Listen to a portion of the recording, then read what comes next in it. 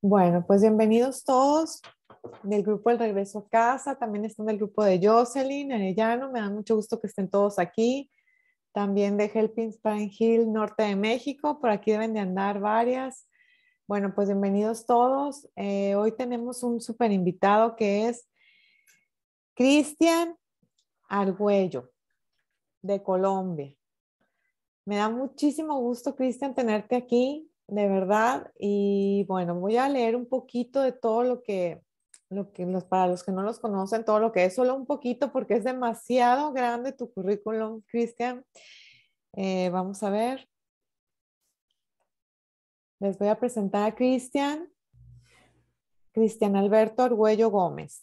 Él es coach ontológico integral del Instituto ECOI de España, especialista en liderazgo e inteligencia emocional.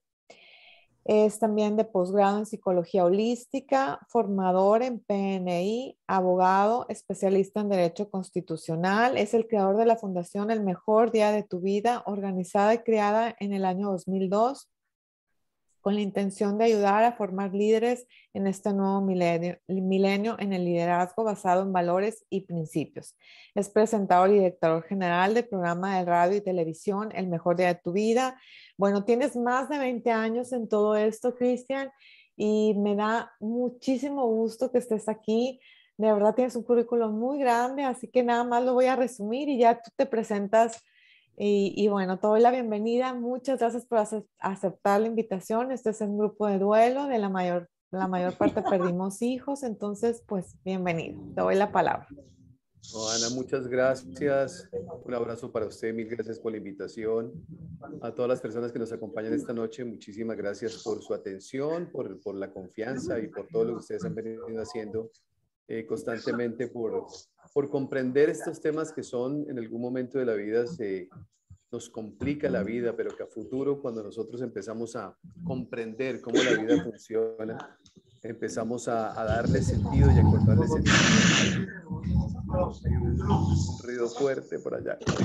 Sí, no puedo silenciar a María. A ver, María Bernal, si puedes silenciar porque yo no te puedo desactivar el audio. A ver, a ver. Mm, yo creo que ya. Bueno, no la puedo, no la puedo silenciar, pero pues ya no se oye ruido. Y ahora sí adelante. Gracias, Ana. Les decía que absolutamente todo en la vida tiene un propósito y tiene un sentido. Nada de lo que sucede en la vida es producto de la casualidad. Pero todo depende de los seres humanos, cómo, cómo reaccionamos ante las situaciones que la vida nos va presentando.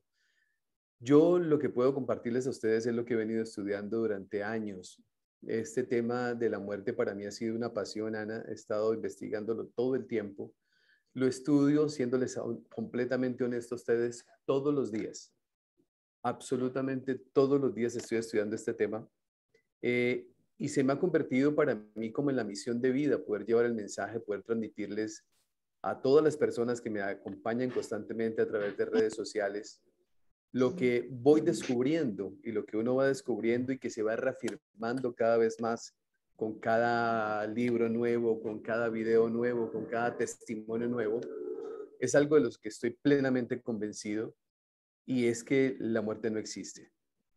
Ese es un tema que para mí ha sido una, una maravilla poder comprenderlo, sobre todo poder investigarlo, eh, poder estudiarlo, tener la posibilidad de haber compartido con muchas personas que han tenido experiencias cercanas a la muerte, para entender que nosotros somos seres en evolución y que simplemente en, esta vida estamos viviendo las experiencias que tenemos que vivir. Y todos, absolutamente, absolutamente todos los seres humanos tenemos cosas que aprender. Unos venimos a esta vida a aprender compasión, amor, respeto, tolerancia, diferentes eh, eh, caminos, diferentes vivencias, diferentes experiencias dentro de esa evolución.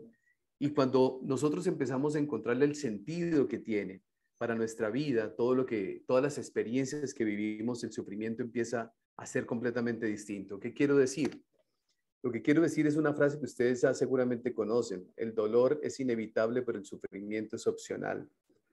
El dolor a todos nos va a llegar en algún momento de la vida pero el sufrimiento yo lo interpreto como la, la falta de comprensión de entender que aquellas cosas que suceden en nuestra vida tienen un propósito.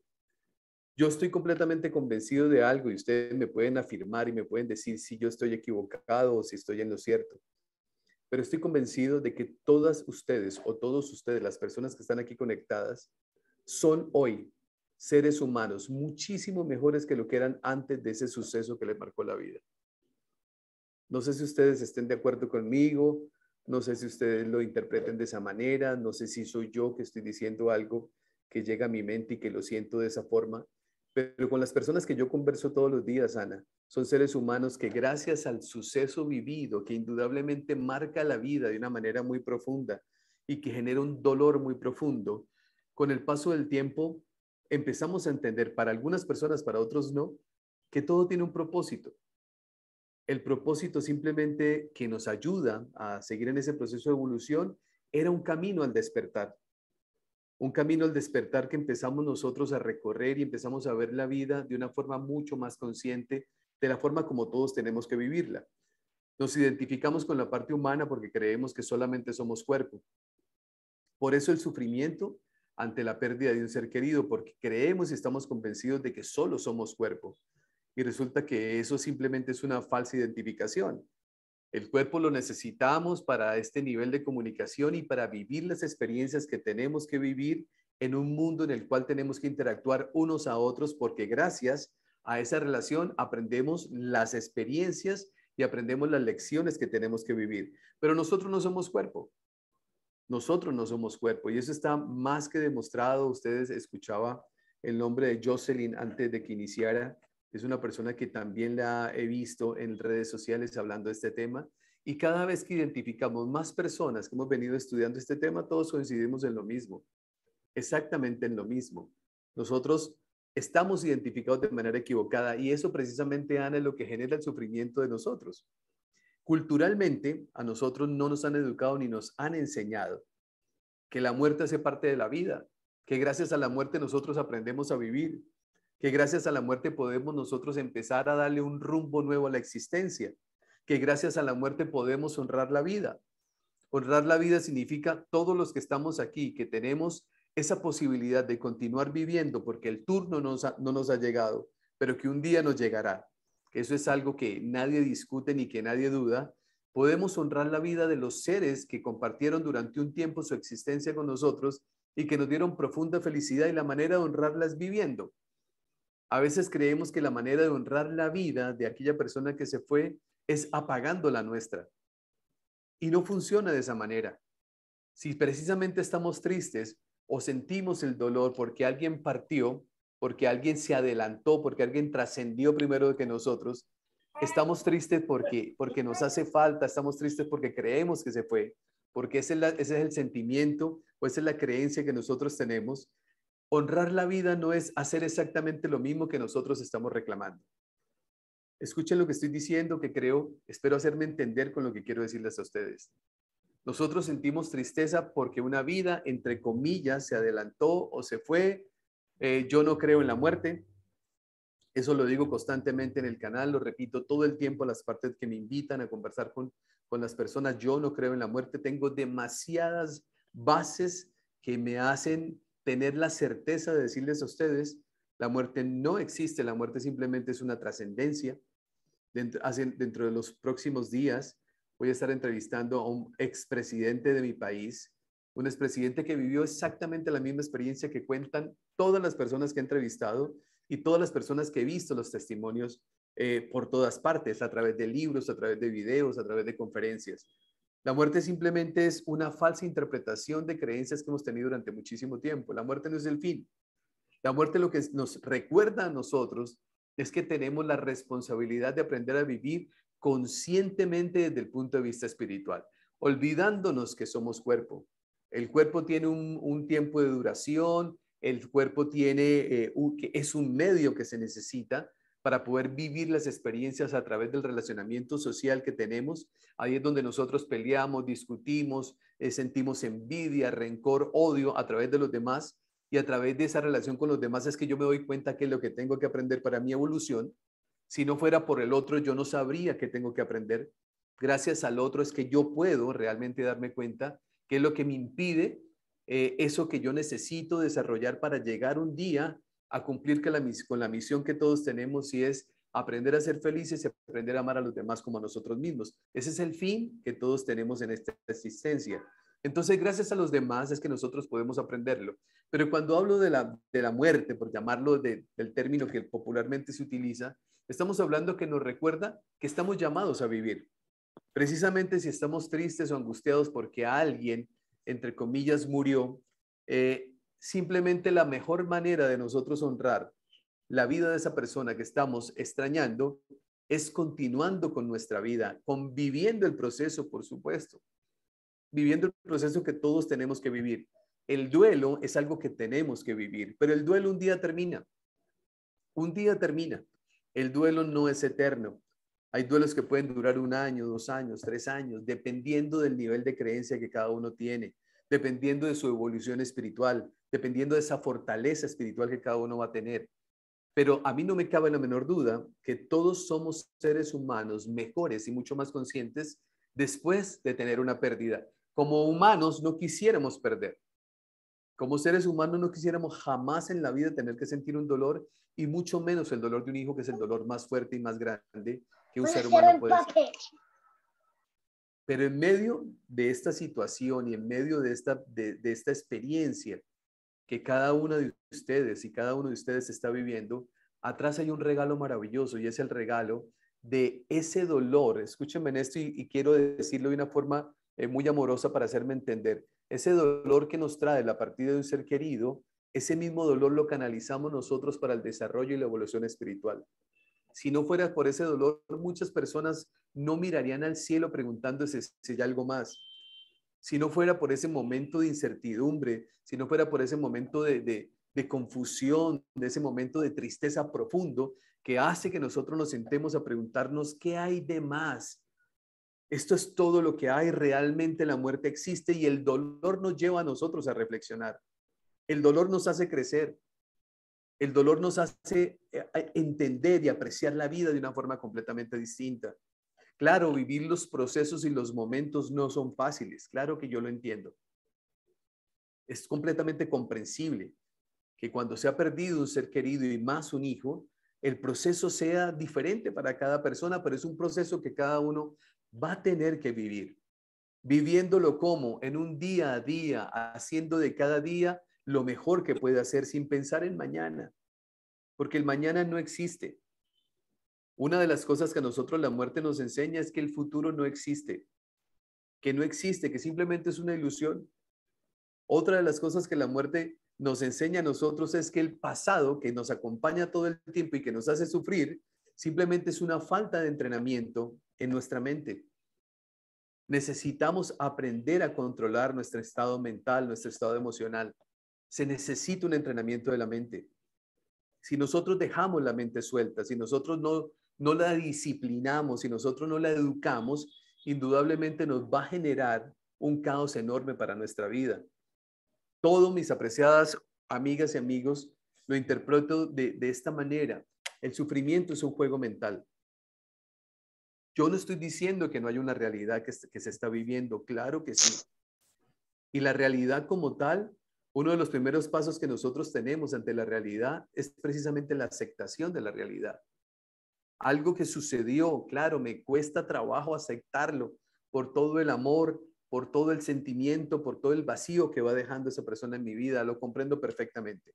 Pero la sanación empieza cuando yo logro aceptar, aceptar esa realidad que estoy viviendo y al mismo tiempo empezar a asumir ese compromiso conmigo de honrar la vida de aquel que se adelantó, viviendo precisamente lo que yo, entre comillas, estoy reclamando siento que perdí a alguien porque se adelantó, entonces yo muero con quien murió.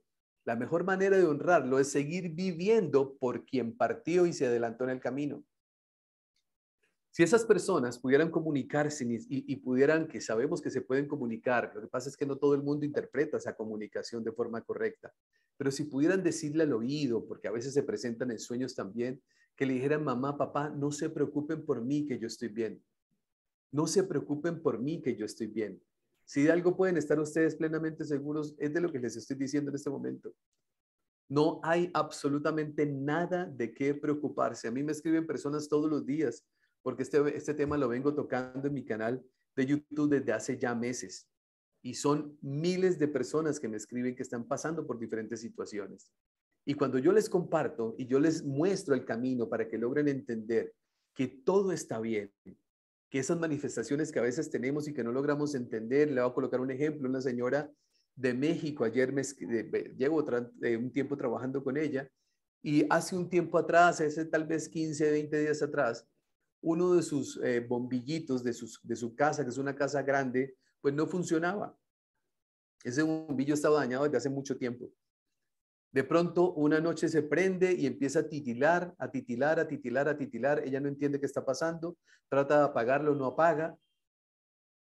Luego vuelve a suceder exactamente lo mismo. Se hace un proceso de meditación, se hace un proceso de oración, donde logramos decirle a ese ser querido, porque lo interpretaba ella como una manifestación de ese ser que amaba, diciéndole, yo estoy acá y estoy bien.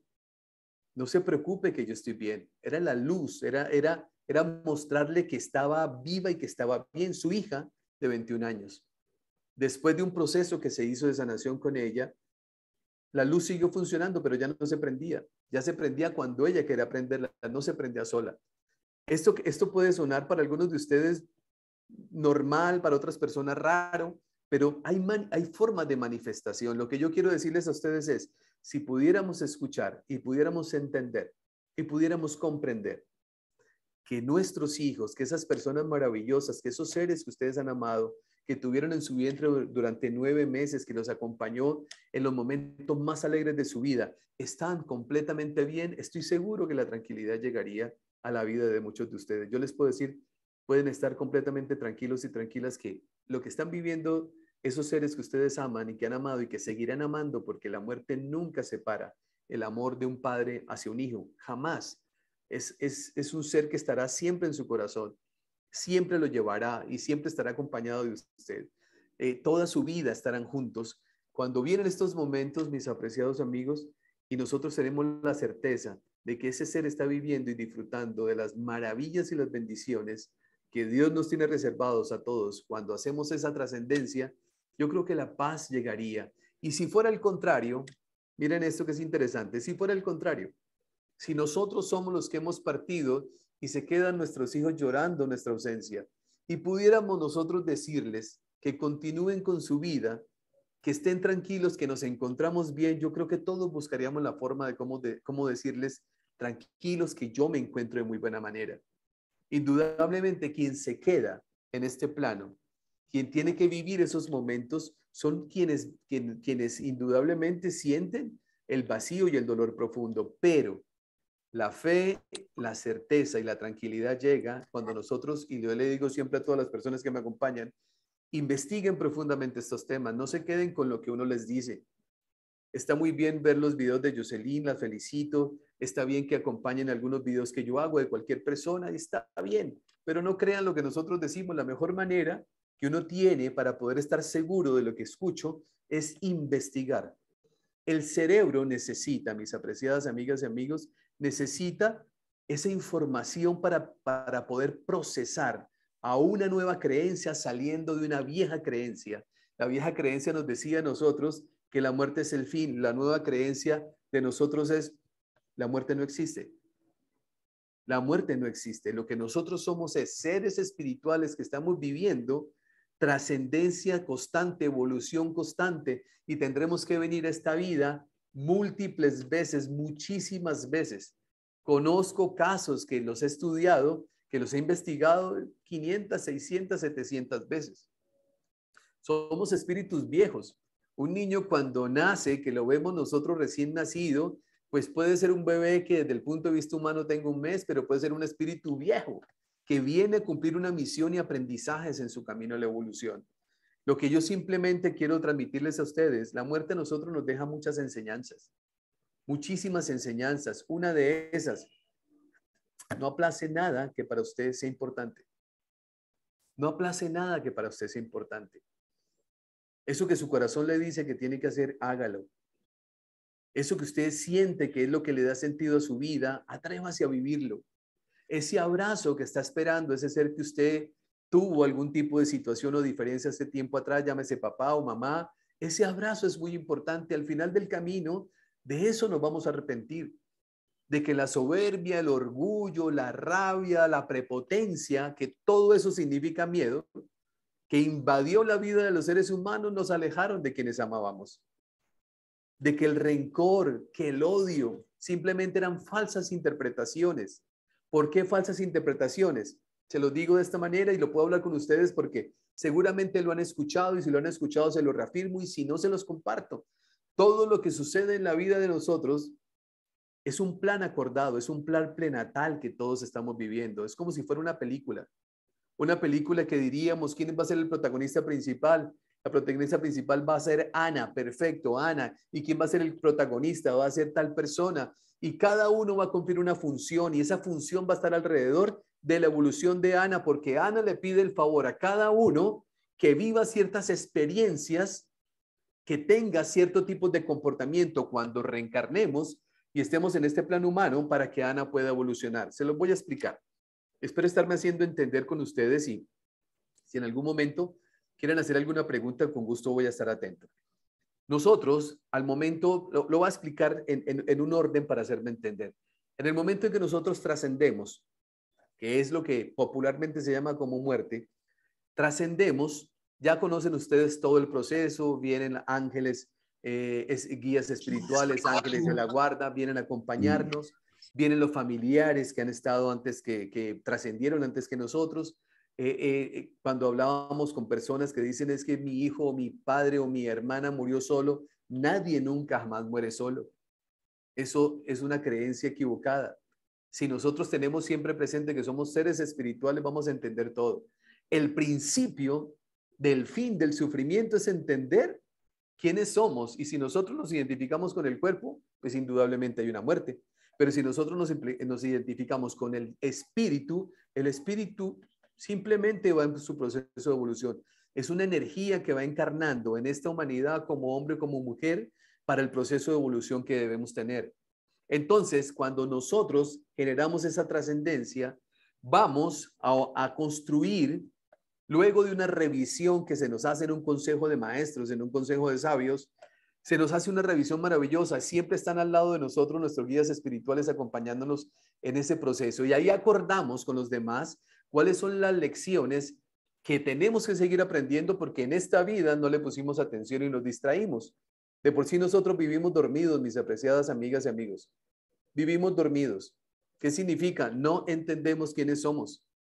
No entendemos. El sufrimiento es estar dormido.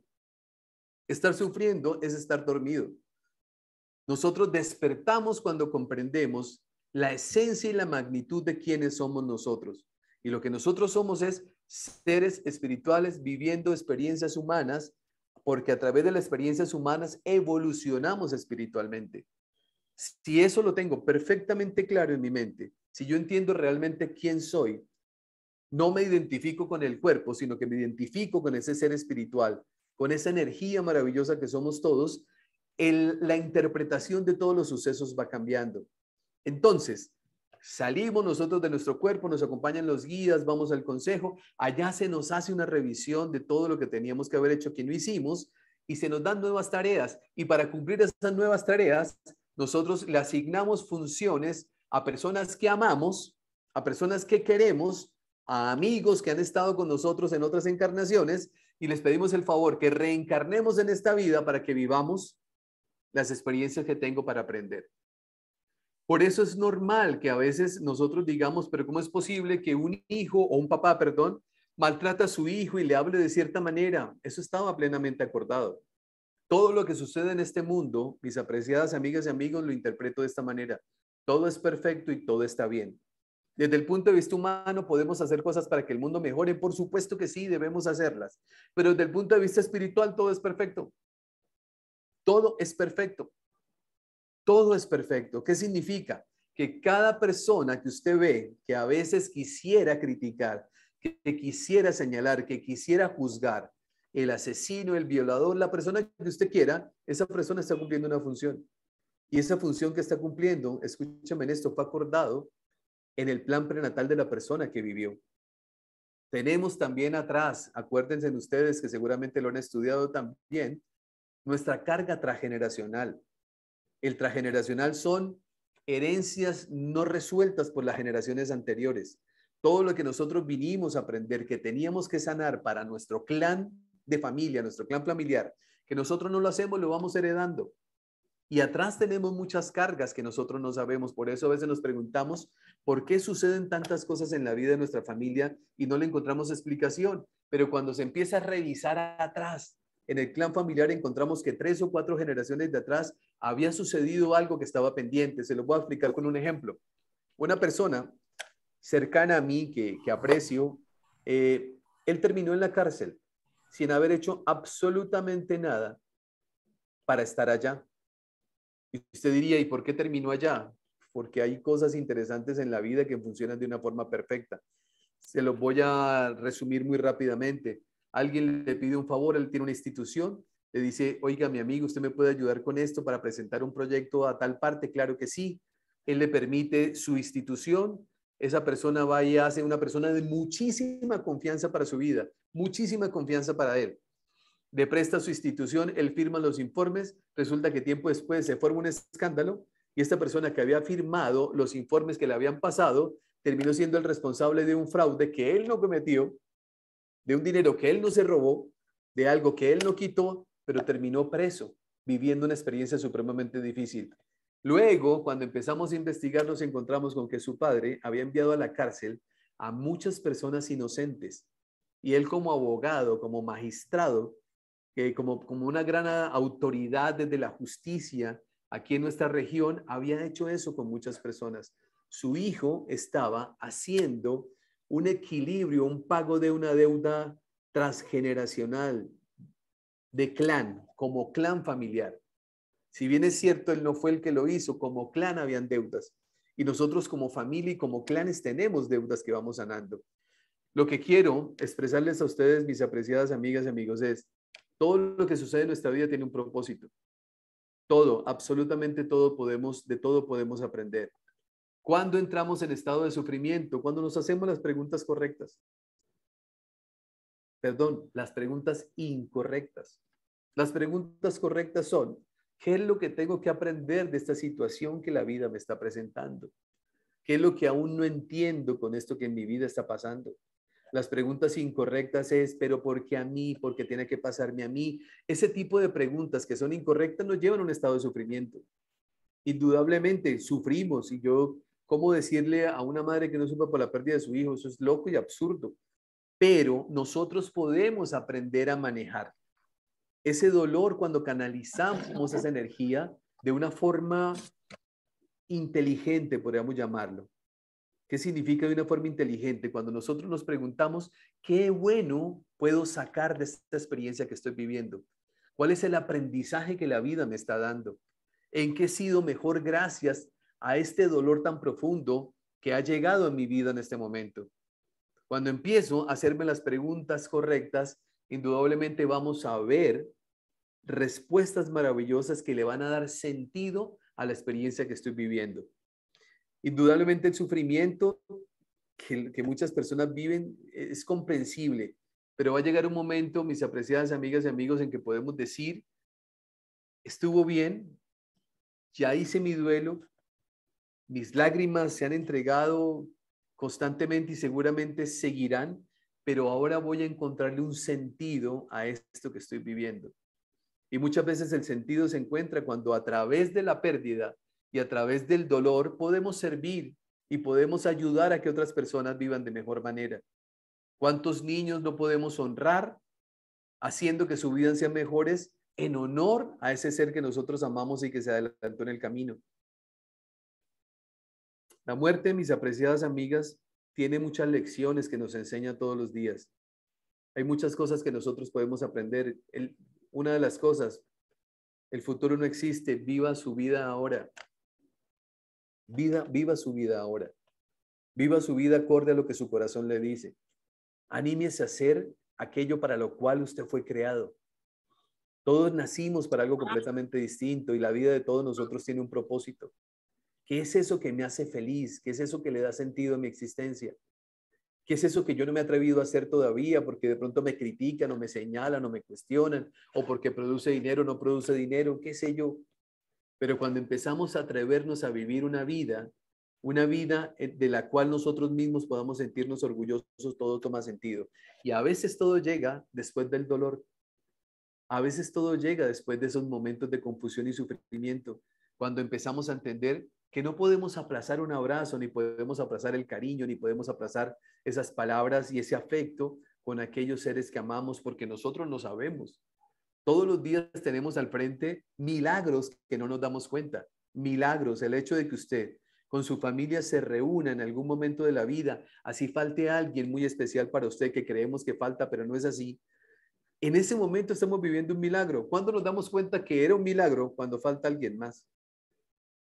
Cuando falta una persona más, empezamos a entender que ese momento era un momento milagroso y que debíamos estar ahí plenamente y en conciencia, disfrutando ese momento, haciéndole un homenaje a la vida. Y la mejor homenaje, el mejor homenaje a la vida es viviendo, es viviendo cada día como si fuera el último de nuestra vida. Para mí ese concepto ha sido maravilloso. El entender que cada día tiene su propio afán, que hay que aprender a vivir cada día como si fuera el último sin afanes. Indudablemente tener sueños y propósitos en la vida son importantes porque la mente humana necesita metas y necesita propósitos. La mente nuestra la necesita, pero espiritualmente nosotros simplemente lo que tenemos que hacer es vivir cada día de la mejor manera, entendiendo, mis apreciadas amigas, que cada persona con la cual usted interactúa y que se cruza en su camino está viviendo también un proceso como usted, tal vez de una forma diferente, tal vez con un dolor distinto, pero también lo está viviendo. Cuando usted prende el televisor y salen noticias y de pronto aparece el ladrón o el violador o cualquier cosa, esas personas que nosotros creemos y calificamos y juzgamos y señalamos como malas y que muchas personas sienten rencor y odio por esos seres, resulta que también vienen siendo maestros para nosotros. El día que nosotros comprendamos, mis apreciados amigos, que esos seres también vinieron a enseñarnos y nos vinieron a enseñar a nosotros aceptación, amor y compasión, nosotros no somos quien, yo no soy quien para juzgar a alguien por lo que hizo. En este momento en mi ciudad, aquí en Bucaramanga, en Colombia, donde yo vivo, hay el caso de un médico. De hace, la noticia fue hace dos días. Las redes sociales lo están atacando mañana, tarde y noche. Indudablemente tendrá que responder por sus actos. Golpeó a su pareja y apareció el segundo testimonio de otra mujer que había sido golpeada, apareció el tercero y me imagino que aparecerán más, qué sé yo. Indudablemente la justicia tendrá que actuar y humanamente él recibirá un castigo. Pero yo les quiero decir a ustedes, si nosotros levantamos un dedo para señalar a una persona que indudablemente, aparentemente se merece todo el desprecio de nosotros, y nosotros actuamos en rencor y odio sobre esa persona, estamos dormidos. No hemos entendido que esa persona también está viviendo un proceso espiritual y que la persona agredida también está viviendo un proceso espiritual. Claro, no nos gustaría, no lo entendemos. No entendemos que eso es así. Lo que yo tengo plena, plena seguridad, aparte de lo que les estoy diciendo, lo cual estoy seguro, es que cuando yo levanto el dedo para señalar a esa persona y para juzgar a esa persona, yo me estoy alejando del propósito que tengo para mi vida. Aprender a ser feliz y aprender a amar a los demás como a sí mismo. El día que yo no aprendo que yo aprendo más bien a no señalar, el día que yo aprendo a comprender, el día que yo veo algo que me puede generar un momento de, incertidumbre, de frustración, de dolor, y miro a la persona y en lugar de enviarle odio, le envío amor, en ese momento estamos entrando en un plano espiritual. Porque entiendo que esa persona está viviendo, a pesar de que lo que estamos, que lo que la persona está viviendo humanamente es algo completamente reprochable desde el humano, desde el punto de vista espiritual, fue la elección que tomó para su proceso de evolución. Tal vez este hombre termine en la cárcel, tal vez este hombre termine viviendo cuatro o cinco años en un centro penitenciario, yo no sé. Lo único cierto es que indudablemente lo requería, lo requería y lo pactó de esa manera para vivir su proceso de evolución. Todo, mis apreciadas amigas y amigos, tiene un sentido. Pero uno de los sentidos muy grandes y es entender, ya le voy a dar paso a ustedes por si quieren compartir conmigo y quieren eh, hacer algunas preguntas y puedo responderlas, con gusto lo haré. Eh, es que la muerte, la, la muerte es vida. La muerte es vida. Lo entendemos después porque el dolor no nos deja ver la bendición que trae también y la enseñanza que trae. Pero cuando nosotros nos volvemos alumnos maravillosos de la muerte, empezamos a entender que es una maestra dolorosa, pero que explica muy bien, que explica perfectamente qué significa la vida, que nos enseña a valorar cada instante, que nos enseña a ser gratos con la vida. Llorar por un ser querido que se nos adelantó es válido, claro que sí, pero es más válido si lo hacemos y ese llanto que de pronto se, se genera en nosotros sea, esté acompañado de gratitud. Cuando nosotros decimos gracias Señor, gracias vida por tantos años que me permitió compartir mi existencia con ese ser maravilloso y doy gracias por la vida de ese ser. Ahí estamos combinando muchas cosas interesantes. Va a llegar el día, mis apreciados amigas y amigas, que el duelo, el duelo pasa a un segundo plano y podemos aprender a convivir a pesar de que ya nada será igual, porque indudablemente nada volverá a ser igual, sí podemos nosotros aprender a convivir en cierto momento con aquella ausencia, pero ya no con dolor y sufrimiento, sino con gratitud y agradecimiento. Ese día empezamos a, entender muchas cosas. Tal vez el proceso puede durar dos años, tres años, cuatro años, cinco años, diez años, yo no sé. Pero el día que llegamos a ese estado de evolución y miramos hacia atrás, nos damos cuenta que el aprendizaje ha sido muy grande y que si nosotros canalizamos esos momentos de angustia de la manera correcta, podemos colocar al servicio de otros muchas cosas maravillosas y entregar tal vez ese amor, tal vez ese cariño, ese servicio, ese afecto que en algún momento de la vida no hemos tenido tiempo porque hemos estado muy ocupados, centrados en aquellas cosas que humanamente nos llamaron la atención. Pero ahora, gracias al dolor y gracias a la pérdida, podemos ver y recordar que somos seres espirituales y podemos empezar la vida a ver, empezar a ver la vida de una forma distinta. Ya yo por lo menos veo a todas las personas con las que me encuentro y ese ejercicio lo hago constantemente. Veo a las personas y yo les quito el cuerpo, por llamarlo de alguna manera, les quito el cuerpo y veo un ser espiritual. Veo un ser espiritual igual que yo, porque cuando yo le quito el cuerpo, ya no tengo necesidad de criticar si la ropa que trae es más cara o, si la joya que trae es de mucho valor y si el reloj que trae es de 30 mil dólares o de mil pesos, qué sé yo, de mil dólares o de, cinco, o de 5 dólares, quitamos eso que nos distrae. Si usted hace ese ejercicio, que yo lo hago constantemente, a mí me ha gustado mucho porque me ha ayudado a entender muchas cosas. Cuando yo quito esa máscara, cuando quito esa, esa ropa, cuando quito eso que me distrae y empiezo a ver en esencia lo que tengo al frente y es un ser espiritual como usted o como yo, inmediatamente todo cambia. Para cerrar mi intervención, mis apreciados amigos y amigas, decirles a ustedes primero que muy agradecido por la invitación que ustedes han tenido conmigo. Los felicito porque ustedes se reúnen a compartir sus experiencias y eso les ayuda a sanar muchísimo. La muerte no existe. La muerte simplemente es un proceso de transición para una evaluación y regresar de nuevo a continuar con nuestra evolución. El día que nosotros logramos comprenderlo, y los invito también, como les dije hace un rato atrás, investiguen por su propia cuenta. No se queden con lo que una persona como yo viene y les dice, porque uno diría, ah, es que este, este señor nos viene a motivar. No, yo no vengo a motivar a nadie. Yo no vengo a motivar a nadie. Lo que yo les digo a ustedes se lo digo porque lo he estudiado mucho, lo investigo mucho. Todos los días atiendo personas y hago acompañamientos todos los días todos los días, mi día simplemente es diariamente estudiar este tema y cada vez que lo estudio y busco más información, me encuentro exactamente lo mismo hace 50, 80, 90, 100 años, a lo mismo que estamos hablando en este momento, a las mismas experiencias que cuentan personas que tuvieron encuentros cercanos a la muerte hace seis meses, un año, dos años. En mi canal encuentran ustedes testimonios de médicos, el doctor Edgar Sánchez de Ecuador, que nos cuenta cómo vivió su propia, experiencia. Una persona de la ciencia, un hombre muy reconocido en Ecuador, cuenta su experiencia y dice la muerte no existe.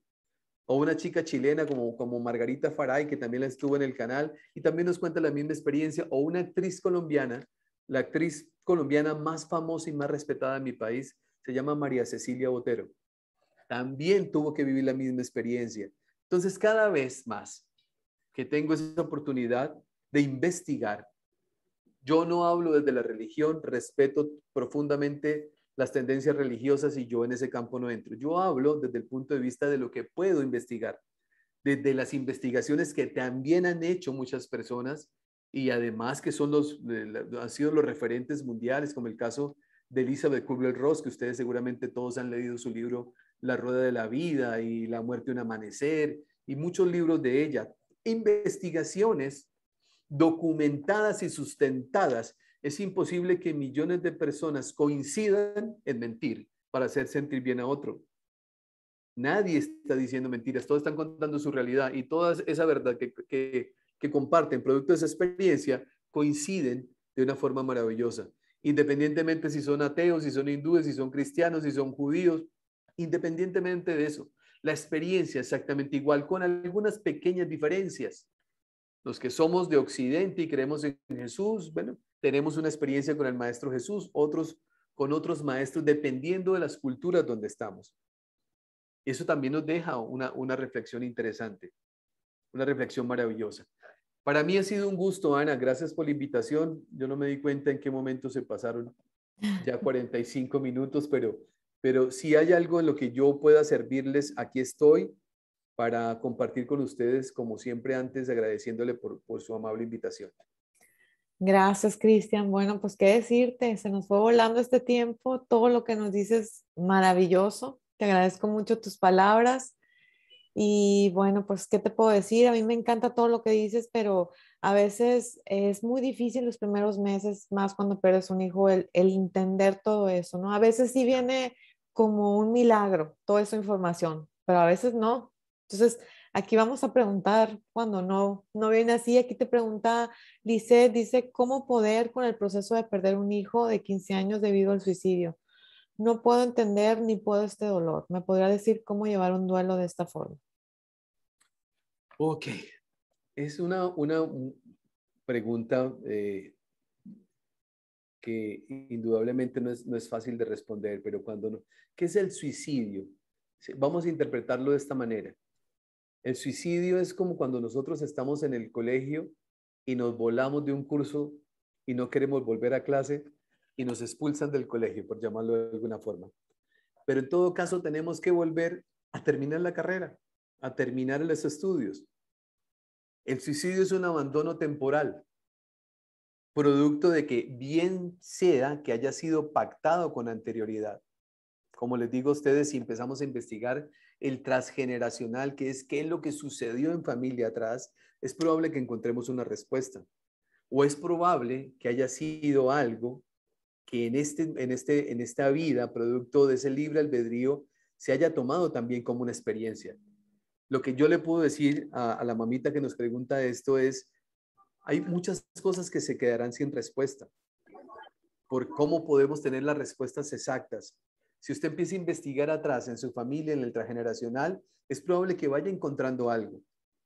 Lo que yo le puedo decir que yo creo que es lo que más eh, una mamá quiere escuchar, porque a veces en nuestras creencias religiosas aparece la palabra infierno. Y esa palabra infierno es lo que más hace sufrir a una mamá que piensa que su hijo se condenó. En mi concepto, en lo que yo he estudiado, el infierno es un invento humano. Es un invento de la mente humana. El infierno no es así. Le voy a, colocar un ejemplo. Un ejemplo, el infierno sería como la condenación de Dios ante los malos actos, ¿cierto? Eso sería el infierno. Entonces, si yo me porto mal, entonces Dios me condena y, me voy para el infierno. Esa es la creencia que hemos tenido durante tanto tiempo. Yo le hago una pregunta a todas las personas que están acá.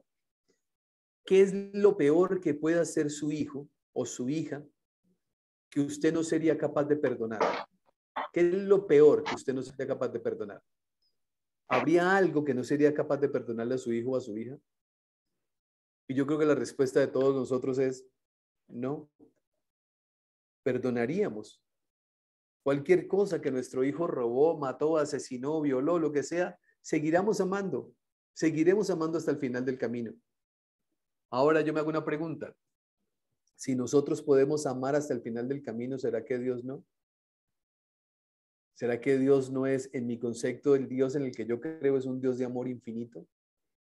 donde Él sabe perfectamente que nosotros nos vamos a equivocar y que nos lo permite para poder aprender, que nos permite que nos equivoquemos, porque si no fuera así, ¿dónde estaría el libre albedrío?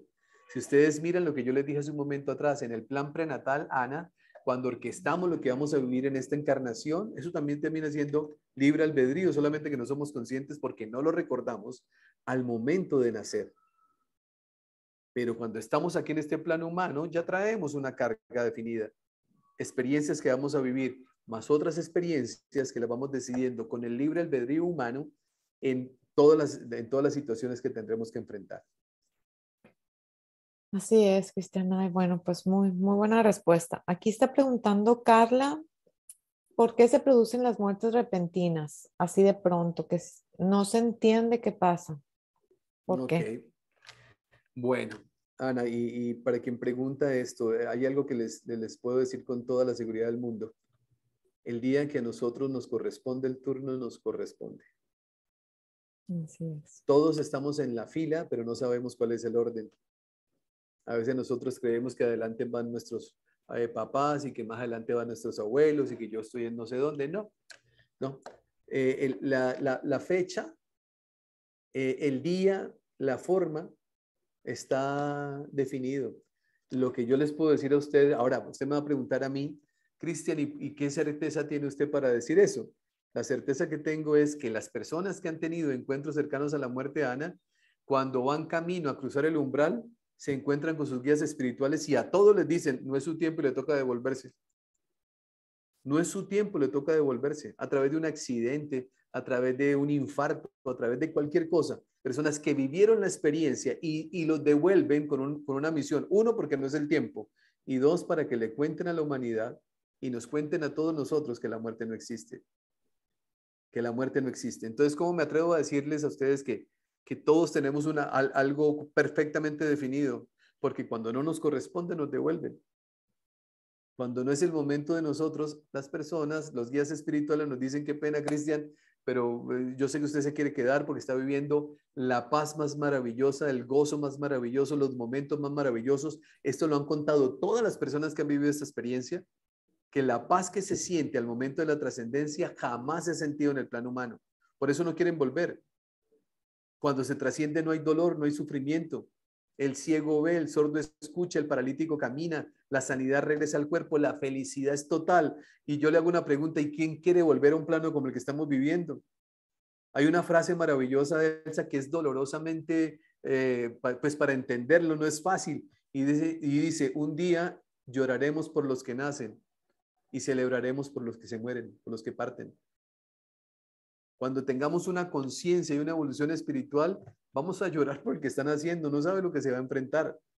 Un mundo como el que nosotros vivimos, que es complejo. Alguien me preguntaba a mí, ¿y cuánto, cuánto nos hace falta a nosotros evolucionar? La única respuesta que yo tengo es, si estamos viviendo en este plano que estamos viviendo, quiere decir que no es que, no es que seamos muy evolucionados del, del caso. Tenemos muchísimo camino por recorrer porque el mundo en que estamos viviendo es un mundo complejo del cual todos hacemos parte. Ay, qué, qué lindo, Cristian. A ver. Sí, alguien quita el micro. A ver, eh, aquí te pregunta Irma, ¿cómo se puede perdonar a la persona que le quitó la vida a mi hijo cuando yo estoy muerta en vida, que no encuentro el consuelo en nada si me destruyó mi vida?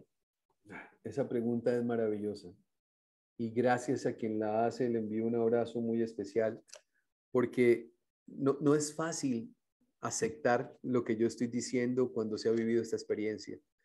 Pero cuando yo, yo les decía hace un momento atrás, nosotros tenemos pruebas en la vida que tenemos que enfrentar, hay pruebas que vamos a tener que superar.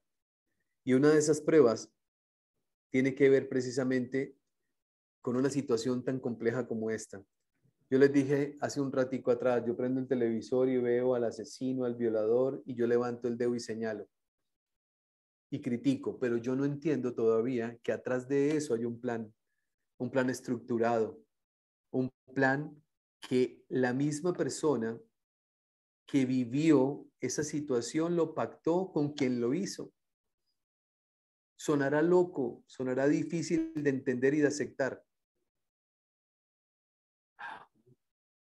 yo recuerdo tanto eh, eh, hace, no hace mucho tiempo, hace unos cuantos años atrás, Ana, apareció el Evangelio de Judas.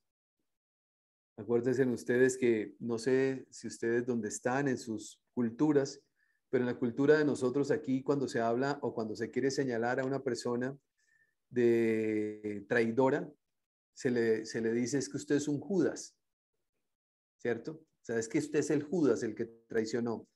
Sin embargo, el Evangelio de Judas que fue descubierto y que hay una investigación sobre eso dice que Judas hizo el trabajo más difícil que alguien podría hacer, pero que se necesitaba para que Jesús cumpliera, su misión. Escuchen lo que estoy diciendo. El trabajo más difícil, el trabajo más sucio, por llamarlo de alguna forma, se le encargó Jesús a Judas, el maestro. Se le encargó a Judas, oiga, venga, vaya, entrégueme. Señor, pero porque, vaya, entrégueme. Esa es la misión que yo le tengo a usted. Entonces, cuando nosotros miramos que esa persona que hace que la misión se cumpla, la mirada cambia. ¿Qué quiero decir con esto? Para la mamita que hizo esta pregunta maravillosa que me, que me pone aquí a, todas mis neuronas a, a conectar para tratarme de hacer de entender de una forma correcta. Esa persona que generó ese sufrimiento está cumpliendo una misión que coloca a prueba a los seres que están alrededor de quien nosotros sentimos que fue la víctima. Dije hace un momento, hace un rato atrás, nosotros vinimos a este mundo a ser felices y aprender a amar a los demás como a sí mismos. El día que nosotros entendemos que nadie nos ha hecho nada, el sufrimiento empieza a desaparecer. ¿Qué quiero decir? Todo lo que sucede en nuestra vida ha sido pactado. Esa persona que hizo algo en mi vida fue porque yo mismo se lo pedí en mi plan prenatal yo le dije, oiga, eh, yo necesito aprender a la infidelidad, aprender a ser leal conmigo mismo y atender, a tener valores y confianza en conmigo, conmigo mismo. Usted podría ser, ser la persona, el amante de mi señora, para que yo despierte y me dé cuenta que tengo que valorarme a mí mismo y que tengo que tener confianza en mí mismo. Y la persona me dice, sí, está bien, yo con gusto lo hago. Lo, cuando, en el plano humano lo vamos a odiar, hay un odio profundo porque traicionó mi amistad con mi señora y generó un odio profundo, pero simplemente tenía en el fondo una misión. ¿Y cuál era la misión? Que yo despertara mi nivel de confianza, ese nivel de valoración en mí mismo y dijera, esto no lo soporto, esto no lo acepto y termino una relación. Lo digo porque hay personas que han tenido relaciones de este tipo, situaciones de este tipo de hace 20 o 30 años y siguen con sus parejas recibiendo maltrato y no se mueven de ahí. Entonces, Hago este ejemplo para hacerme entender. Quien me viene a generar dolor muchas veces es un maestro, muchas veces no, siempre es un maestro que viene a enseñarme algo. ¿Cuál es la enseñanza, mi querida señora? La enseñanza es aprender a comprender y aprender a amar a pesar de que no logramos por ahora entender algunas cosas. El odio no soluciona nada. El rencor no soluciona nada, al contrario, nos hunde cada vez más. El tener fe de que todo lo que en la vida sucede, a pesar del dolor profundo que estoy viviendo, siempre ha sido para bien de mi vida y entiendo, lo, digo de esta manera porque es un término que yo utilizo a veces para hacerme entender, no cae en la trampa de señalar y juzgar al otro pensando de que él me había hecho algo a mí. Sí, yo entiendo, asesinó a su hijo y eso es supremamente difícil. Pero si entramos en una fe y entramos en una convicción, primero que todo que la muerte no existe, segundo que eso fue un acuerdo pactado por él, que lo necesitaba para su proceso de evolución.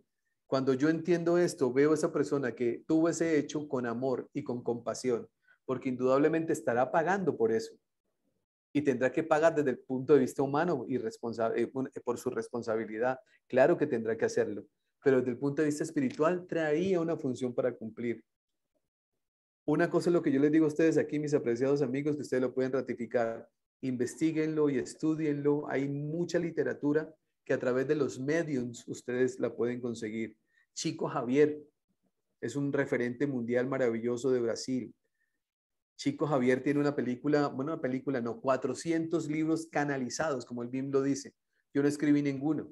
400 libros canalizados con toda la sabiduría espiritual que cuando usted empieza a estudiarlos, empieza a entender que esto, esto es como si fuera una obra teatral. La vida que cada uno de nosotros vive es como si fuera una película de cine. donde cada uno está siendo actor de su propia evolución y para eso necesita acompañantes. Esos acompañantes cumplen una función.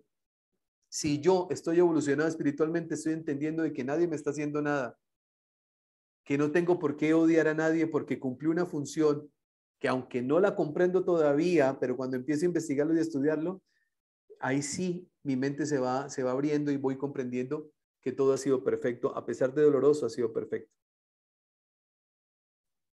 Ok, gracias, Cristian. Aquí también te están preguntando, bueno, hay muchísimas preguntas, no sé qué tanto tiempo tengas, Cristian. Yo tengo tiempo hasta mañana a las 5 de la mañana. Perfecto. Bueno, aquí te están preguntando si no cumplió en su totalidad en esta vida su misión de amar y ya se cortaron los vínculos, ¿uno qué puede hacer para no volver a terminar esa misión? ¿Es que hay dificultades para retomar? No, no, no la entendí muy claramente, Ana. Mm, a ver, otra vez. Si no cumplió en su totalidad en esta vida su misión de amar y ya se cortaron los vínculos, uno, ¿qué puede hacer para no volver a terminar esa misión? ¿En qué hay dificultades para retomar?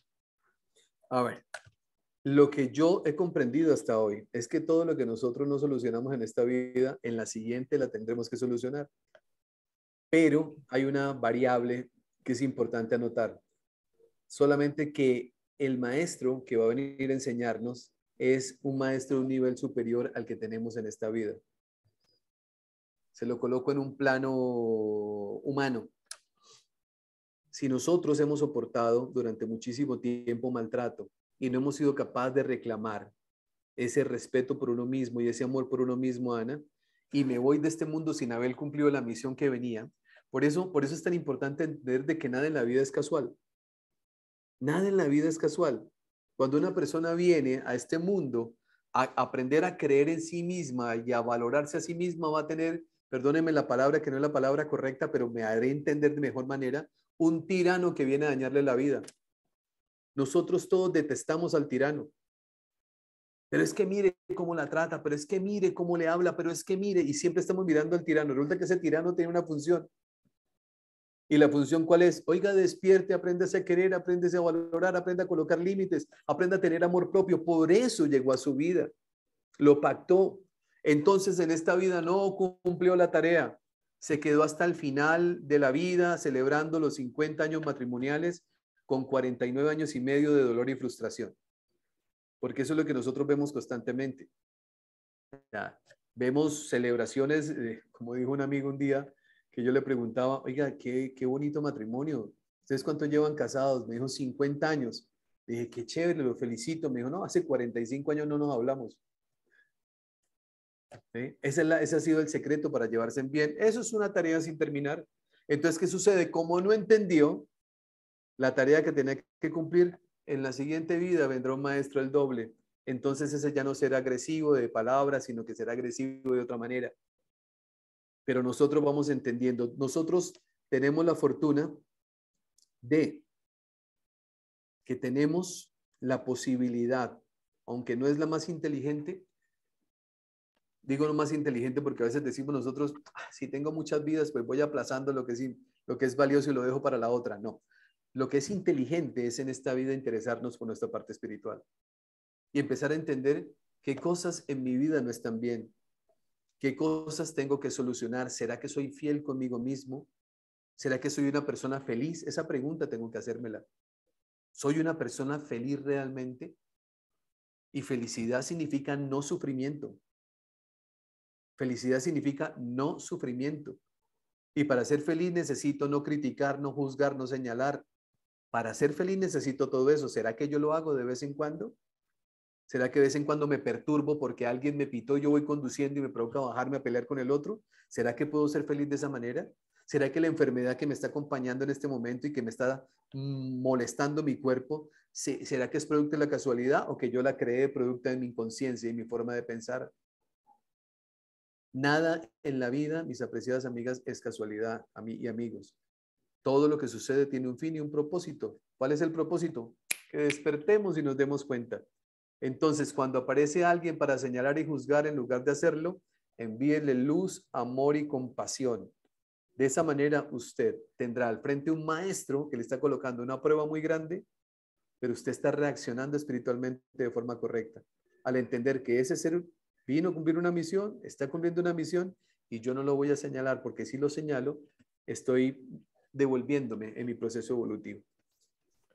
Ok, gracias, Cristian. Aquí están preguntando dos preguntas muy similares para que las contestes así más o menos juntas. Dice, entiendo que el accidente de Andrés, o sea, su hijo, no fue accidente para el espíritu, era un momento y debía haber un móvil para que él regresara a casa. ¿Es así? Y también te pregunta Ani, una pregunta, ¿por qué días antes de trascender su hijo vio a su abuelo y le comentó que ya era su tiempo y que él iría directo al cielo, que era un, un lugar muy hermoso? Así es. De eso, de eso tengan ustedes plena seguridad. Ah, ah, no hace mucho, eh, compartiendo esto con un amigo que es también colega mío, es, abogado, eh, yo le hablaba de estos temas, Ana, y, y, y él es pues, abogado y es racional, ¿no? Todo lo que está en códigos y es la interpretación de las leyes, para no, pero no, no las leyes espirituales, sino las leyes humanas. Y yo le explicaba cuál era el proceso de trascendencia y, y él apenas me miraba y se reía. Eh, y no le ponía mucha atención hasta que hace unos seis meses atrás muere su papá. Y cuando muere su papá me llama, esa misma noche me llama y me dice, Cristian, se me fue mi papá, tal, amigo, lo siento. Eh, la verdad no le dije lo siento porque hace mucho tiempo que yo ya no digo lo siento. Yo le dije, lo acompaño, lo entiendo, fue lo que yo le dije. Yo ya no digo lo siento porque yo comprendo hoy que la muerte es un regalo y que la muerte es una bendición, que la trascendencia es una dicha que la, trascendencia es de los momentos más sublimes y lindos que todos vamos a vivir. Pero lo que me llama y me cuenta Ana y me dice, imagínese que mi papá estaba en la cama, eh, eso fue como media hora antes de, que su cuerpo dejara de funcionar y empezó a saludar a su papá y a su mamá. Y me dice a mí, hijo, es que al lado izquierdo está, está su abuela, hijo, al lado derecho está su abuelo, y empieza a hablar con ellos. Y empieza a hablar con ellos. Eso sucede todo el tiempo. Yo creo que lo conocemos todos. Todos conocemos casos como esos. ¿Qué sucede? Que la persona viene, todos los seres espirituales vienen. Es maravilloso. Nadie muere solo. Escúchenme en eso, mis apreciadas amigas y amigos. Nadie muere solo. Nadie. Todos al momento de la partida vamos a estar demasiado bien acompañados. Tanto que muchas veces el ser para, ese ser maravilloso que amamos para trascender, se siente tan feliz que a veces le cuesta ah, trabajo mirar atrás y saber que está dejando en, este mundo humano eh, seres que lo aman. Porque, porque están tan embelesados, están disfrutando tanto de ese gozo que Dios nos da en esos momentos que se les olvida el mundo. Hasta cuando de pronto dicen, pero yo tengo a mi hija, pero yo tengo a mi papá, pero yo tengo, y entonces empieza esa lucha entre me voy y me quedo. Y esa lucha se hace más difícil cuando nosotros desde aquí empezamos a reclamar su presencia, que es completamente normal y lógico que pase. Es completamente normal y lógico. Llega el día, por eso le digo yo siempre a todas las personas y se los digo con cariño a ustedes también, llorar a los seres queridos está bien, sí, pero saberlo llorar es mejor todavía. Saberlo llorar significa llorar por agradecimiento y gratitud, pero diciéndoles Vayan tranquilos, disfruten ese regalo que Dios les dio, vivan esa experiencia maravillosa. Los suelto y los dejo ir con amor. Ahí es diferente el llanto. La primera pregunta que me hacía, que todo estaba para suceder, no le quepa la menor duda. No le quepa la menor duda. Todos, absolutamente todos nosotros estamos haciendo una fila y tenemos un boleto con un número lo que no sabemos es cuál es el consecutivo. Eso es lo que nosotros no sabemos. Y la verdad, yo un día decía a título de, simplemente como reflexión, Ana, yo decía que Dios se equivocó, ¿no? Lógicamente lo que estoy diciendo ya es una equivocación, pero, pero lo decía para hacerme entender con algo. Yo decía, eh, cuando nacemos hay un registro de la fecha de nacimiento y en la cédula de ustedes bueno, en el documento de identidad de ustedes hay una fecha de nacimiento, pero yo decía que Dios se equivocó porque no colocó la fecha de vencimiento. Porque si dijera diciembre 31 del año 2021, ¿ustedes no creen que nosotros viviríamos un poquito con más intensidad, con más conciencia, eh, veríamos la forma de una, de una manera diferente.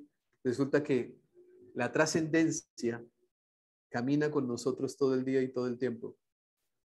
Siempre está ahí, pero no recordándonos que nos vamos a morir, recordando que tenemos que vivir cada día como si fuera el último de la mejor manera que podamos vivir. Eso es lo que nos está recordando. Que honrar a aquel que se fue y que se adelantó en el camino simplemente es viviendo nuestra vida de la mejor manera posible. El día que nos corresponde, nos corresponde. Y hasta el último segundo y de la forma en como nosotros partimos de esta, de esta vida, ahí también hay un aprendizaje. Así como vivimos nosotros, trascendemos. Pero todo está bien y la tarea continúa. Cuando usted menos se dé cuenta, más adelante, una o dos generaciones adelante, volvemos acá y continuamos con la tarea que, a la cual estamos todos llamados. Ok. Me encanta, Cristian, eso que dices. Eh, yo lo leí en un libro de Elizabeth Kubler-Ross. Decía que, que siempre, porque siempre los que estaban moribundos veían a sus familiares muertos y no a los vivos? Pues porque muchas veces decían que era cosa de la alucinación, ¿no? no. Pero siempre son muertos, pues, ¿no? Entonces eso, lo que acabas de decir, pues sí. Ana, hace un poquito antes de estar aquí con ustedes, acabé de entrevistar a un médico colombiano que esa entrevista la subo en estos días al canal. Él se llama Santiago Rojas. Ah, sí. Él es, es, un médico muy conocido y un hombre, un escritor, un hombre brillante. sí, ha estado con nosotros. Ah, qué bien. él vivió su propia experiencia también. Hoy adelantó parte del tema y él está todo el tiempo acompañando personas moribundas. Una persona de la ciencia que dice, me baso en los hechos y las evidencias, no en las creencias ni las tendencias religiosas. Los hechos nos muestran a nosotros perfectamente que las personas no están alucinando. ¿No? ¿No? Son las llegadas de los seres espirituales que todos vamos a tener en nuestro momento. La ventaja es que todos un día podremos saber si estamos conscientes de que lo que hemos hablado aquí es cierto o no. Así es, Cristian. A ver, aquí tienes otra pregunta. Dice, mi hijo estuvo luchando 17 años de sus 23 años vividos y en tres ocasiones estuvo a punto de irse. ¿Para qué? ¿Cuál cree usted que sea el propósito de esa experiencia que a toda nuestra familia los mantuvo en un via crucis y resurrección constante al final? Al final se fue, no logró comprender, no logró comprender el propósito. Gracias por su amable respuesta. Bueno, aquí hay dos propósitos. Acordémonos siempre que hay un propósito desde lo personal y otro propósito desde lo colectivo. Hay un propósito desde la persona que viene, un chico que vivió 23 años, de los cuales 17 vivió su estado de aprendizaje. Era, eh, venía pactada su, su, su, su, experiencia, lo que iba a vivir. Hay dos libros maravillosos que los invito a que ustedes lo lean. Uno se llama El destino de las almas, el otro se llama El plan de tu alma. Léanlos. Esos libros les va a dar más claridad todo lo que nosotros venimos a vivir está pactado y más en esa, en esa edad. Porque a veces decimos nosotros un niño de, acaba de nacer y ya nace con complicaciones porque es parte del aprendizaje. La segunda parte, que es el aprendizaje colectivo, esa respuesta la tienen ustedes mismos en familia. ¿Qué vino a enseñarles ese chico maravilloso durante sus 23 años que comparte con ustedes? ¿Qué les enseñó paciencia? ¿Qué les enseñó fe? ¿Qué les enseñó amor incondicional? ¿Qué les enseñó? Y esa respuesta la tienen cada uno de las personas que estuvieron alrededor de él, porque todos nosotros tenemos esa posibilidad. Les voy a colocar un ejemplo. Ah, una mujer nace, tiene un hijo, un niño especial, eh, y luego le nace un segundo niño especial y uno diría, ¿cómo es posible? A ver, mi, mi mascota aquí está aquí acelerado. ¿Cómo es posible que dos niños especiales, qué puede uno aprender de eso? Resulta que es una lección muy grande hacia la paciencia, hacia el amor, hacia la confianza. Esas son las lecciones que nosotros aprendemos. Les voy a colocar otro ejemplo. Ana, en el libro La Rueda de la Vida, Elizabeth Kugler peleaba con Dios y discutía con Dios de una forma muy fuerte y alegaba y le decía, ¿cómo es posible que yo, que tanto he ayudado a más de 30 mil personas, 40 mil personas que acompañaba a morir durante todo este tiempo y usted haga sufrir a mi mamá como está sufriendo. Su mamá duró cuatro años en cama. Cuando pronto murió, ella entendió qué era lo que estaba pasando. Hasta el último momento de la vida y en todos esos momentos que estamos eh, experimentando cercano al momento de la trascendencia, estamos aprendiendo. ¿Qué entendió Elizabeth? Que su mamá durante toda su vida fue una mujer muy independiente que no necesitaba de nadie porque era, era la firmeza, era el carácter y no necesitaba de nadie. Y resulta que esos cuatro años le tocó ser dependiente. Vivió en esos últimos cuatro años el aceptar y el recibir amor de los demás. El aceptar que el otro pudiera cuidarla, alzarla, acariciarla, asearla, todo eso. Entonces, hasta el último momento de la vida nosotros estamos aprendiendo. Importante que al menos esto que yo le estoy diciendo a ustedes les quede en su corazón. Todo tiene un propósito. El sufrimiento desaparece cuando yo entiendo que a pesar de que estamos viviendo un dolor, atrás hay un propósito maravilloso. Mi, mi trabajo, ¿cuál es? Descubrir el propósito. Les puedo asegurar que todo dolor profundo que un ser humano vive, indudablemente atrás de eso se vive un crecimiento y una evolución espiritual. Yo estoy seguro que todos ustedes que han vivido esa experiencia, que ha sido muy difícil, son mejores seres hoy. Y eso ya permite comprender que en medio del dolor también hay ganancia, que en medio de la pérdida también se gana. Claro, así es, Cristian. Eh, también te preguntan, bueno, ya lo contestaste, pero aquí lo vuelvo a repetir, dice que si no importa la manera como mueras, ya sea enfermedad, accidente, suicidio, que si es, que si todos tenemos nuestra hora de partir, o los que se quitan la vida dicen que no es su hora. Eh, que si hay diferencia entre el suicidio o, otra muerte. Sí, claro, claro que hay, creo que hay, claro que hay diferencia, indudablemente que sí hay diferencia. Eh, cuando nosotros eh, tomamos la decisión por nuestra propia cuenta de terminar con nuestra vida, es simplemente abandonar el plan divino. Esto no quiere decir, y vuelvo y le repito para las mamás que han vivido esa experiencia, que su hijo entró en un infierno y que se condenó. No. Nosotros cuando salimos y trascendemos, sea por el medio que sea, vamos a algo que lo llamaba Chico Javier la unidad de cuidados intensivos. Unidad de cuidados intensivos espirituales. Vamos a colocarle, así como existen las UCIs por el tema del COVID, ¿cierto? Existen las UCIs para el tema espiritual. E indudablemente el tratamiento que recibe una persona que se suicida no es el mismo tratamiento que recibe una persona que tiene muerte natural. No es el mismo tratamiento. ¿Qué significa? Que requiere de más cuidado, que requiere de más atención, que requiere de, de, más, de más cariño. O algo que quiero anotarles a ustedes que acabo de recordar, Ana, que lo dicen todos los guías espirituales. Todos, absolutamente todos, somos recibidos con amor independientemente de lo que hayamos hecho sea suicidio, seamos nosotros los asesinos, seamos nosotros los violadores, sea lo que seamos, somos recibidos con amor. Allá arriba, en la otra dimensión, no hay el bueno y el malo. No hay el bueno y el malo. Es aquí donde nosotros calificamos como bueno, como malo. Allá simplemente llegamos todos y nos dicen, para colocarlo de una forma popular, oiga, la embarró usted, se equivocó. Sí, sí, entonces vamos a corregir. En la siguiente vida usted va a vivir esto, esto, esto, va a experimentar esto. Hay una cosa que es, que, es cierta, las deudas de sangre se pagan con sangre, desde el transgeneracional. Desde el transgeneracional. Esa persona que asesinó a otra persona, pues va a vivir alguna experiencia eh, en sus próximas generaciones, en sus clanes familiares, para equilibrar ese karma eh, que hemos tenido a través de todos esos procesos. Pero, pero lo que quiero decirles, a ver, les, voy a colocar un ejemplo.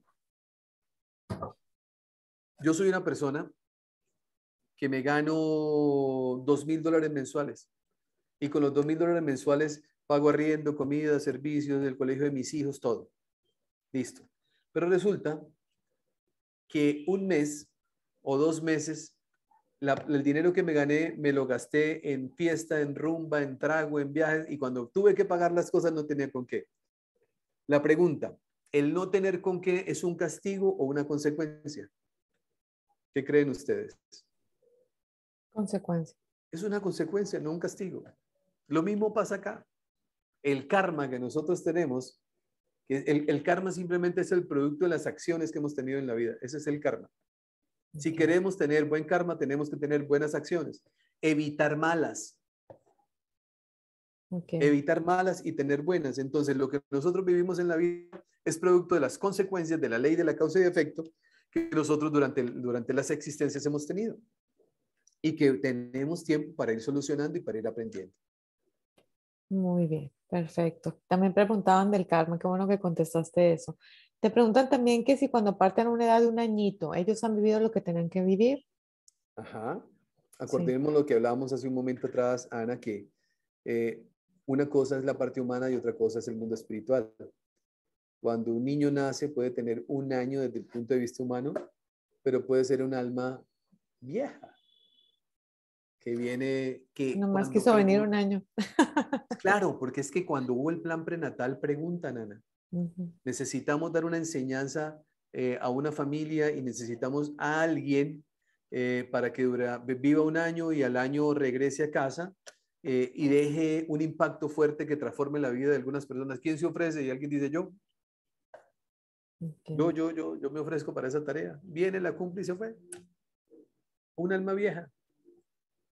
Lo que pasa es que nosotros decimos, ¿cómo se puede morir un niño de un año? Sí, porque estamos identificados con el cuerpo. Estamos identificados con el cuerpo, pero si nos identificamos con la parte espiritual, ya entendemos que es diferente. Ya no es un niño de un año, es un alma vieja que sabrá Dios si tiene 200 o 300 o 400 encarnaciones. Así es. También te preguntan que si cuando nos toque morir, que va a venir nuestro hijo. Mm, sí, ¿no? Ya lo ah, claro, claro que sí. Es el primero que llega. Tengan la fe absoluta, la fe absoluta de que un día todos se van a volver a encontrar.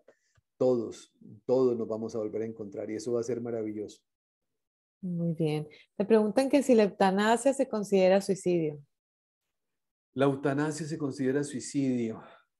Yo diría que sí. Yo, diría que sí, sin embargo, no lo juzgo, porque quien toma esa decisión seguramente está viviendo un sufrimiento muy grande. Eh, pero si lo analizamos desde el punto de vista de lo que hemos venido hablando, creería que sí. creería que sí, que es, que es no aceptar el proceso de aprendizaje a través del dolor que está sufriendo para su evolución, eh, porque no lo resiste, porque no lo soporta y, toma un camino. Eh, y luego cuando llega allá, pues le van a decir, se equivocó, vuelve y juega. Ok. Y por ejemplo ahí, eh, Cristian, en las reencarnaciones, así, ya ves que a veces viene como que en esta vida y, salen y nacen en otra familia, hay niños que empiezan a decir que yo viví con ella, aquella familia. Entonces, no siempre son de los mismos grupos. Así es. Sí, en algunas, algunas experiencias que tenemos que vivir podemos ir a lugares distintos, a países distintos, en condiciones diferentes, dependiendo de la experiencia que tenemos que aprender. Ok, perfecto. Indudablemente estaremos ligados eternamente ¿cierto? Y, nos encontraremos, pero en muchas reencarnaciones podemos ir a diferentes lugares y a, vivir diferentes experiencias. Voy a colocar un ejemplo, no es, no es, lo mismo nacer en Suiza que, que en Haití, no es lo mismo. Okay. Son experiencias muy distintas, pero dependiendo del requerimiento también es el destino que, que, que ese espíritu, luego cuando se convierte en alma, pues toma. Perfecto. Te están preguntando aquí, dice, vivir el suicidio de mi esposo y el de mi hija menor de 15 años después, ¿cuál es el aprendizaje? Bueno, el aprendizaje para ellos eh, es bastante, eh, bastante interesante. Cuando digo interesante es porque a mí no me gusta catalogar ni me gusta señalar. Todos los seres tenemos que vivir el, indudablemente las experiencias que nos corresponden y creo que todo está bien. Cuando ella, cuando ella pregunta qué aprendizaje, yo le devolvería esa pregunta a quien la hizo, porque yo desconozco cómo vivieron o cómo, cómo, fue la relación o, en qué nivel de conciencia fue ese nivel de interacción entre ustedes. Eh, esa respuesta la tiene usted y yo creo, yo creería y le invito a que se pregunte todo el tiempo desde el punto de vista eh, ojo con esto, aquí no se trata de juzgarnos ni cuestionarnos, ni mucho menos, no, en mi concepto todo está bien. En mi concepto todo lo que sucede en el mundo está bien, pero, la, pero esa pregunta sí nos corresponde a nosotros, ¿no? Preguntarnos qué tengo que aprender, qué es lo que me, qué me cuál, cuál fue la enseñanza que me dejaron, cuál fue el impacto que mi esposo tuvo en mi vida, cuál fue la importancia que mi hija tuvo en mi vida, qué, qué, qué quisieran ellos que yo hubiese continuado en mi existencia. Y me hago las preguntas correspondientes yo no podría responder algo porque esas respuestas indudablemente las tiene quien, quien vivió esa experiencia. Ok, gracias, Cristian. Te preguntan por las, muertes por COVID, ¿qué, ¿qué significado tienen? Ah, yo, yo digo lo, lo, mismo eh, y, y, respondo de la misma manera, Ana, cuando nosotros tenemos el destino ya definido ante eso, hay, no hay nada que hacer, independientemente que se llame COVID, accidente de tránsito, accidente aéreo, eh, qué sé yo, voy pasando y se cayó una materia y me cayó a mí en la cabeza y precisamente fue a mí. El día que a nosotros nos corresponde, nos corresponde. Lo que yo sé y que estoy convencido es que la forma como nosotros morimos hace parte del aprendizaje que requerimos. La forma como nosotros morimos. Indudablemente las personas que, pasan, y que pasaron por un momento de COVID tuvieron momentos para reflexionar, para crecer y evolucionar espiritualmente hablando tuvieron el tiempo para darse cuenta, para reconocer muchas cosas. A veces nosotros quisiéramos, miren, porque hay muchos tipos de duelo dependiendo de la forma como nosotros partimos. Aparece la enfermedad y cuando aparece la enfermedad nos da el tiempo a nosotros de poder abrazarnos, solucionar, querer. Eh, cuando nos damos cuenta que ya la cosa es, entre comillas, en serio, ese tipo de situaciones nos permiten a nosotros corregir muchas cosas. En el proceso del COVID, a pesar de que no tuve las personas cercanas físicamente hablando, sí las tuvimos espiritualmente hablando. Y esas personas también tuvieron la oportunidad de reflexionar y de darse cuenta en su proceso de, aquellas cosas que, que, debieron haber sido y que no fueron, pero también tuvieron la oportunidad de, de pedir esa compasión y ese amor para poder en el siguiente encuentro poder eh, solucionar eso que quedó pendiente. ¿no? Ok, perfecto.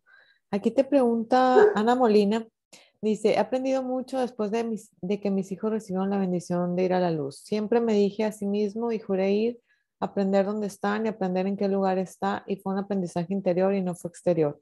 Ahora tengo la certeza que mis hijos están llenos de amor y un poder universal, en que todo es hermoso.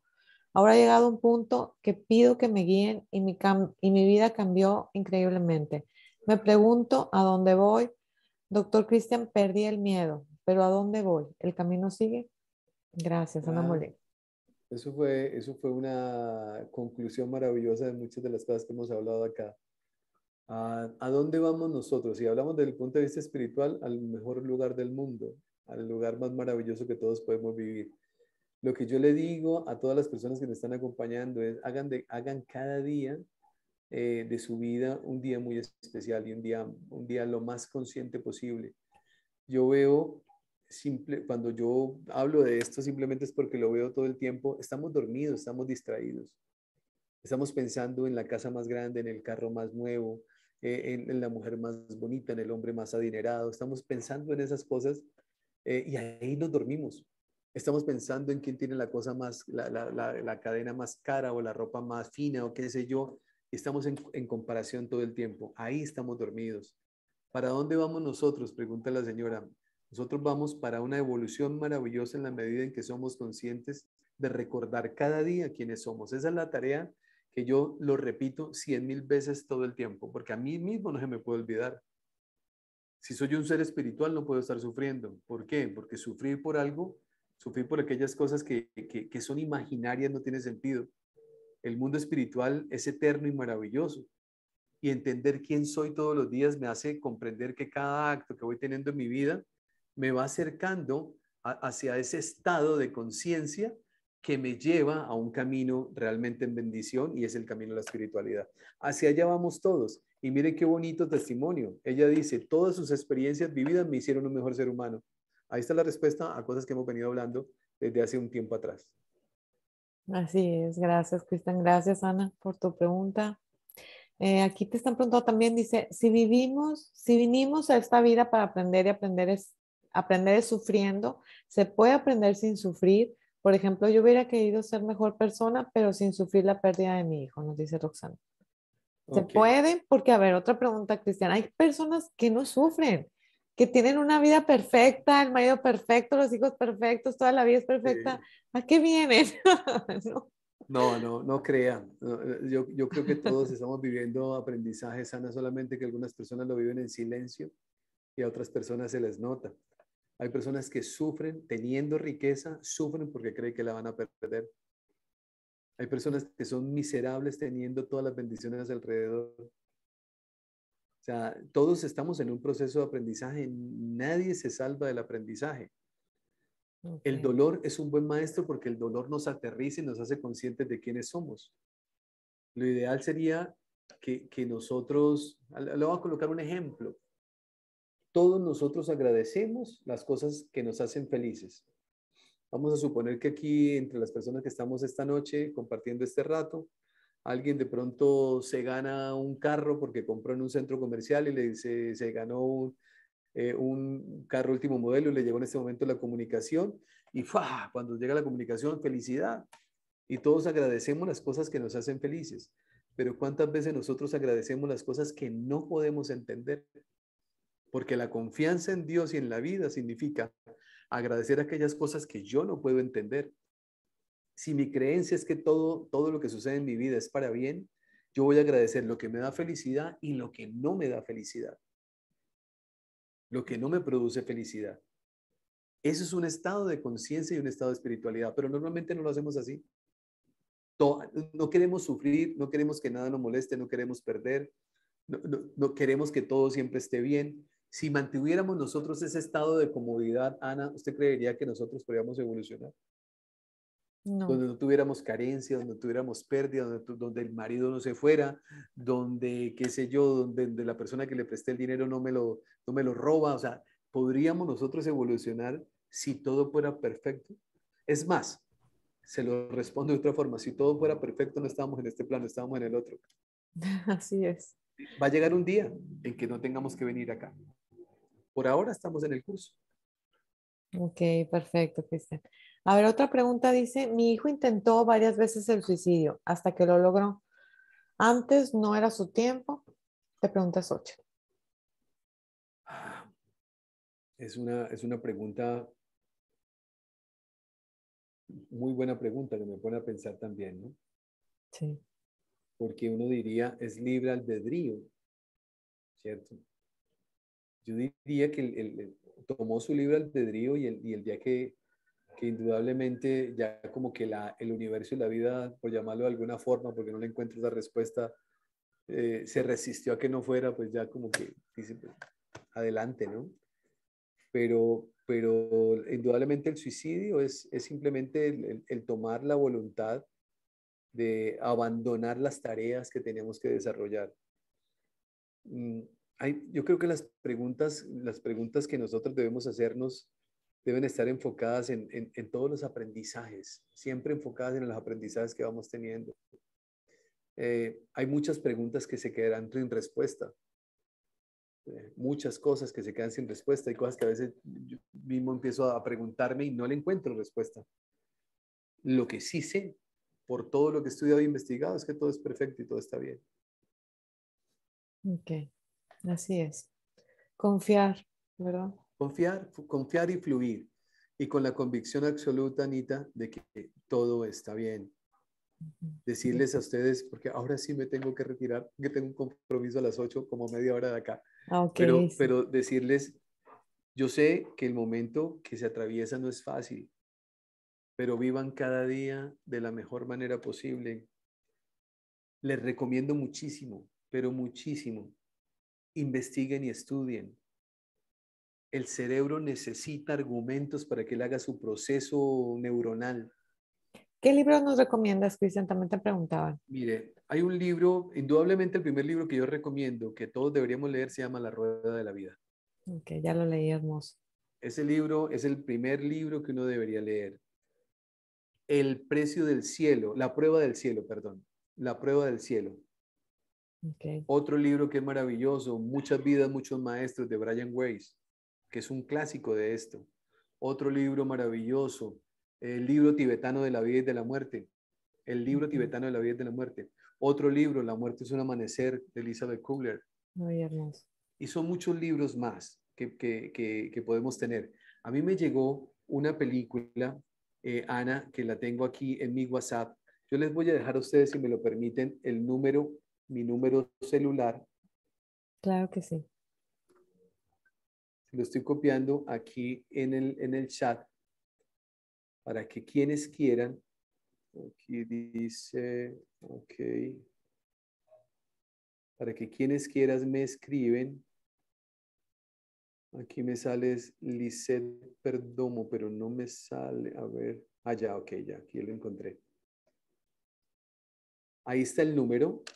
Les voy a colocar mi nombre como aparezco en redes sociales. Les invito a que me acompañen en el canal de YouTube porque tengo, también les puedo compartir, si ustedes me escriben, yo les puedo enviar el link donde tengo, no sé, tal vez 13, 13 15 videos, Ana, donde yo hablo de, de todos estos temas y voy ampliando el concepto. Ahí pueden, pueden eh, investigar más. Eh, recuerden lo que yo les decía hace un rato atrás, se necesita entrenamiento mental para salir del sufrimiento. La mente necesita argumentos. La mente necesita argumentos y en la medida en que yo empiezo a investigar, a estudiar, a llenar, a, llenar mi mente de conocimiento, porque esto es producto de la investigación, no de la imaginación.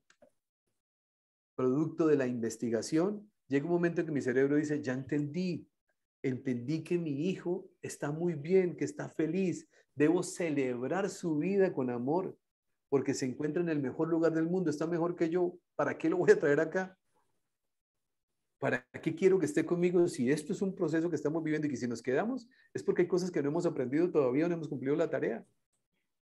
Y esa es la labor que todos tenemos, pero para eso se necesita, Anita, que tengamos la información en nuestra mente.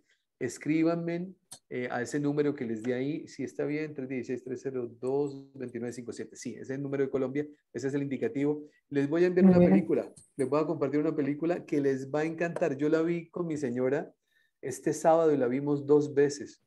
Me pareció maravillosa, que también es de un medium muy famoso, a la par de Chico Javier, de nombre Divaldo. Y una cosa maravillosa. O sea, cuando yo vi el video y vi esa película que es basada en uno de sus libros, que es producto de sus canalizaciones, dije, Señor, qué maravilla, qué maravilla que ahora alguien nuevo para mí, en mi proceso de investigación, vuelve y ratifica, vuelve y ratifica. O sea, no es que uno, no es que uno quiera creer, es que no tenemos salida. La muerte no existe, la vida es eterna, todo está bien, todo lo que llega a nuestra vida es para el mejoramiento de nuestra evolución espiritual y lo único que nos queda es honrar a los que amamos viviendo de la mejor manera cada día. Un abrazo para cada uno de ustedes, Anita. Muchas, gracias, Cristian. Muchas gracias por, por estar aquí, por tu tiempo. Yo les voy a mandar ahí tus redes sociales, tu teléfono. Y bueno, te agradezco mucho todo tiempo, tus palabras tan lindas de, con cariño, las veces, ahorita en el mes de diciembre, Ana, vamos a tener, eh, vamos a tener ya unos 3, 4, 5 invitados, que ya tengo varias cosas pregrabadas, de cómo vivir en esta época del año, eh, cómo sobrevivir, llamarlo de alguna manera, cómo sobrellevar esta época del año luego de haber perdido un ser querido. Entonces vamos a tener hay cosas bonitas que son ayuda, simplemente se hace porque porque entre todos nos podemos dar la mano para recorrer este camino y, salir adelante triunfantes y un día entendiendo que todo tiene un propósito. Claro que sí, yo las comparto con mucho gusto en el grupo. Muchas gracias, Cristian. Un abracito. Un abrazote desde México, gracias. Gracias, cuídense mucho. Gracias. Gracias. Gracias, gracias. Gracias, gracias. Cristian. Hasta luego, gracias. Gracias, gracias, gracias. Bye, bye. ¡Wow! ¡Qué bonito se escucha! Ay, gracias. Gracias. Gracias. Gracias. Muchas gracias. Gracias. Gracias. Ana, como siempre, muchísimas gracias por todo, Ana, y por tu tiempo. Gracias. Ana, muy agradecida contigo. Gracias.